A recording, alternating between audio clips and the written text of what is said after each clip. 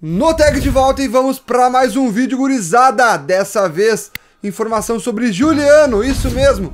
O jogador aí que estava sendo disputado, entre aspas, né, pela dupla Grenal, mais pelo Inter, né, do que pelo Grêmio. O Grêmio estava só avaliando o jogador, não tinha chegado com nenhuma proposta oficial de fato. Mas agora, o fato é que Juliano tem um novo destino e a gente vai falar sobre isso agora. Antes de começar o vídeo, quero lembrar que o vídeo é patrocinado pela OneFootball. Galera, não baixou ainda, mano, pega do celular agora, ou se você já tiver pelo celular, vai no link que tá aqui na descrição e baixa. É tanto para Android como para iOS. Cara, a notícia do Juliano brotou, brotou aqui na tela do meu celular. Não só ela, mas como várias, mano. Já sai muita coisa, às vezes, sai lá em São Paulo, sai lá, sei, sei, sei lá, sabe aonde e você já tem na telinha do teu celular instantaneamente. A OneFootball é demais, gurizada, é demais. Além de ver tabelas de qualquer uh, campeonato de futebol do mundo e, claro, também acompanhar os jogos do seu time em tempo real.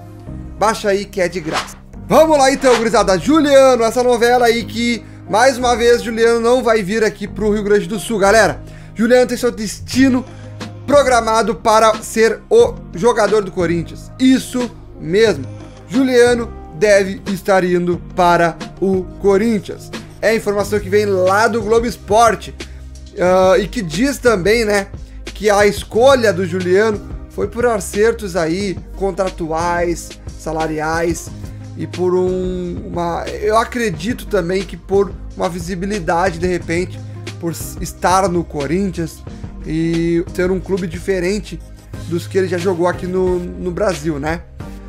Inter não tinha cacife também para bancar o Juliano. O Grêmio não mostrou aí uma proposta oficial. A ideia do Grêmio é trazer até três jogadores.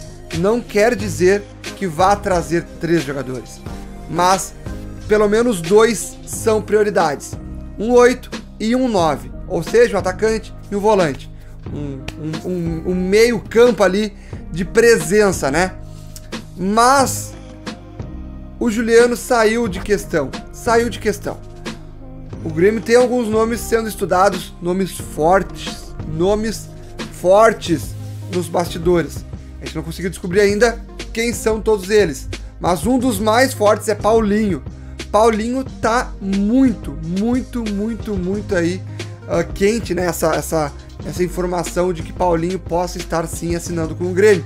E é um jogador caro, é um jogador bom, de extrema qualidade, e obviamente o Grêmio não iria conseguir trazer Paulinho, também Juliano e mais um centroavante. E também sobre o centroavante, o que mais está aí pintando também como um, um nome para ser acertado com o Grêmio é de Roger Guedes. Não quer dizer que ele vá ser acertado, não quer dizer que o Grêmio já tem uma proposta em mesa, não temos esta informação. Mas nos bastidores circula que Roger Guedes sim pode ser um grande nome.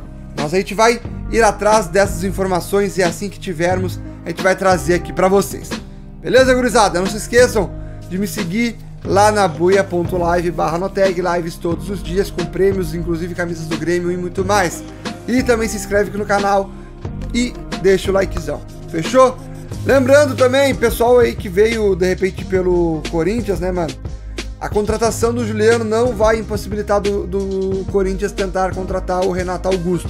Renato Augusto também era um nome que estava sendo estipulado a, aqui no Grêmio, mas Renato Augusto pode ser também aí jogador do Corinthians novamente.